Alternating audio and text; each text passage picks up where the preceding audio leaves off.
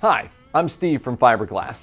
Today we'll take a look at our part number 1678 Stretchlon 200 sheet and our number 1778 Stretchlon 200 centerfold bagging films, available at fiberglast.com. Stretchlon 200 is part of our vacuum bagging category. This bagging film is used to create the outermost layer of your bagging setup called the vacuum bag. It is not intended to touch your laminate. Instead, the vacuum bag is meant to seal your laminate and all the vacuum bagging materials on top of it from the air. You would typically choose Stretchlon 200 when you want significant stretch from your bagging film. It stretches up to 500% of its original length.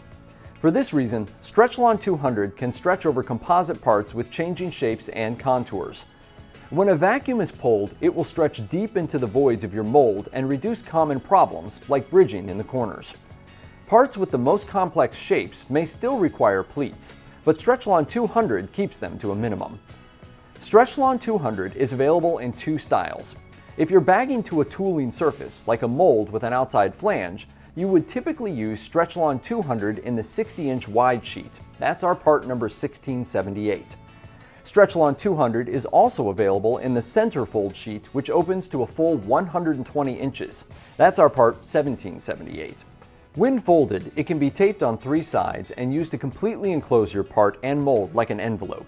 It can also be opened to 120 inches to create a larger surface area.